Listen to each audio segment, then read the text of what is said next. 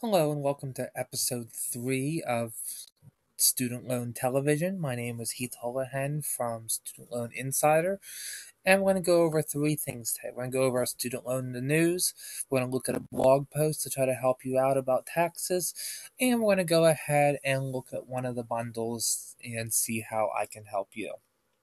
So, when it comes to student loans, Mark Cuban has been far from um, not having an opinion. He has talked about the student loan bubble that he believes is going to happen. He's talking about how to fix it in terms of saying that they should be capping the, the bubble is going to ex- exist if he said if they cap the amount of debt they can have and then people are going to obviously have it ex- explode um and but he said that they should be capping the amount of private loans too. And what I've not seen him say, but it seems as though he is going towards is then what should ultimately happen is that colleges should have the amount that they can charge capped. Which would then, because colleges do have really inflated costs in terms of administration and things like that. What my personal opinion is before we go into the other news story is that a freshman should know right up front how much they'll be paying. So you can raise it every year for every freshman class, but let's say your tuition's twenty thousand, you want to raise it five hundred every year. Well, you do twenty thousand, um, twenty thousand five hundred, which is forty five hundred, twenty one, which is sixty one five. Uh, 62 it would be like eighty two thousand dollars give or take 83 i think um, then I'm sorry, I was doing math there in my head, but let's see, 20, 40, uh, 500, 1,000, 1,502 is 1,500, 35, so that should be 85,000. Um, and you'd know right up front exactly what you would be borrowing against and kind of can make a plan. And of course, there's financial aid and all of that.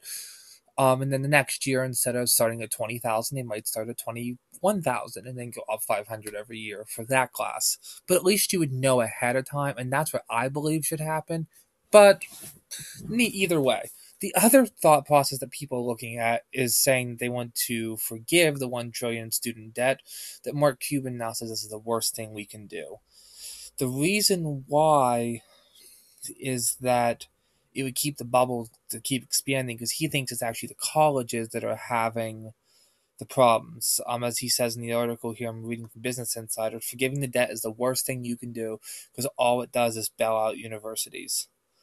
Um, loan forgiveness would just show that Uncle Sam would forgive their debts, according to Cuban, and encourage students to keep taking out big loans to pay hefty tuition instead of going against and funding a more responsible school or making the schools re- re- rein in their spending.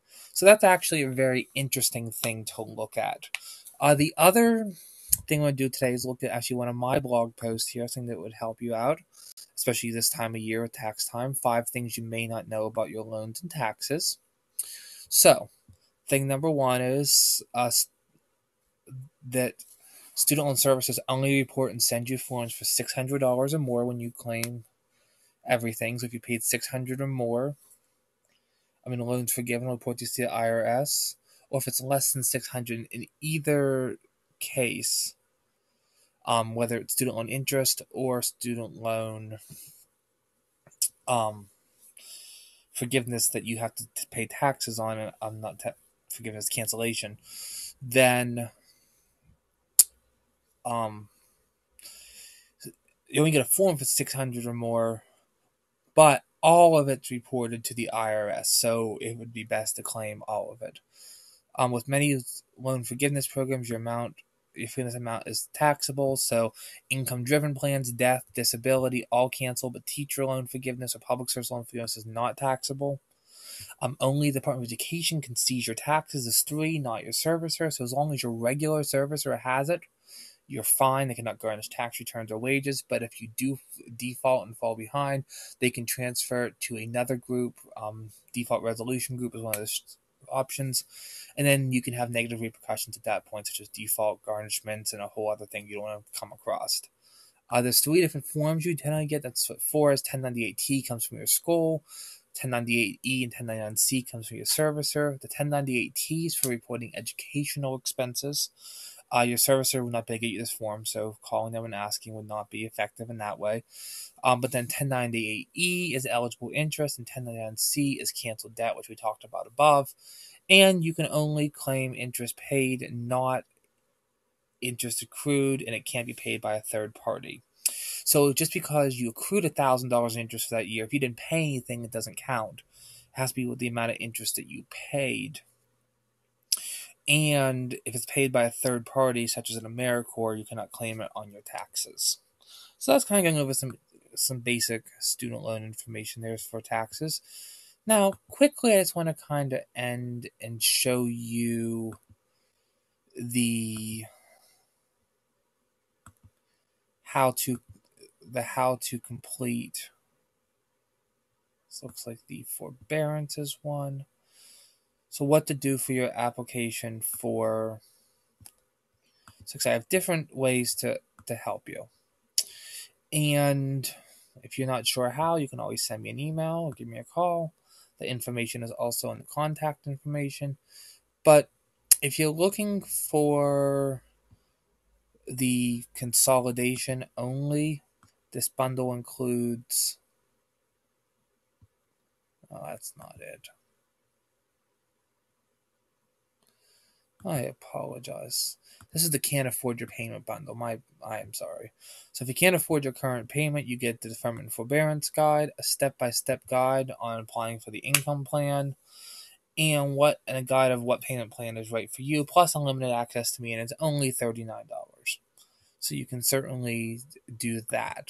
Now, the what income plan is payment plans right for you it goes over different income plans not based on plans not based on your income plans based on your income. If you have private loans perkins loans parent plus loans different things that may work out best for you. Um, you can also have the how to complete an income plan which there's a step-by-step guide here where I show you with screenshots how to complete it. You'll be emailed all of this once you actually create the purchase. This gives you everything there.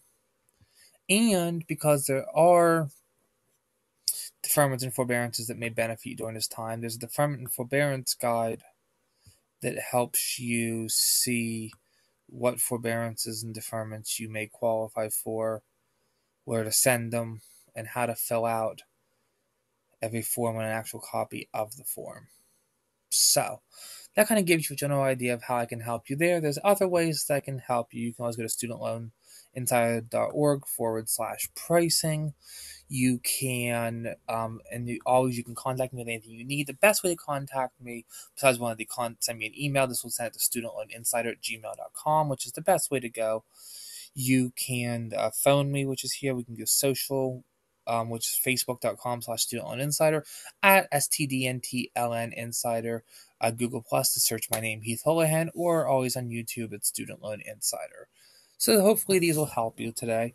And if you ever have anything you need, just give me a holler. And again, this is uh, Heath Holohan from Student Loan Insider. This was Student Loan Television, Episode 3. And I do hope you enjoyed it. Thank you so much.